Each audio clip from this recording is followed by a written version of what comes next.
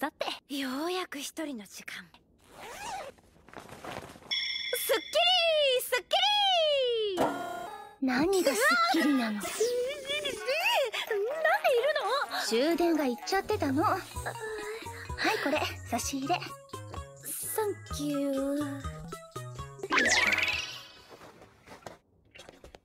無理しないでね私は寝かせてもらうわああおやすみ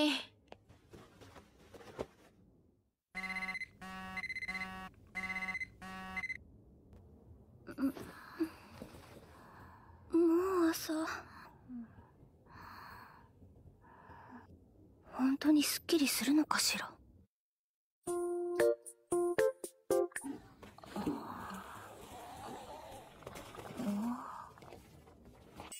意外といいかも。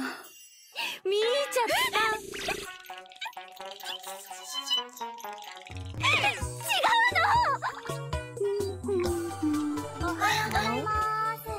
おちゃんだわおはようございますまた泊まりですか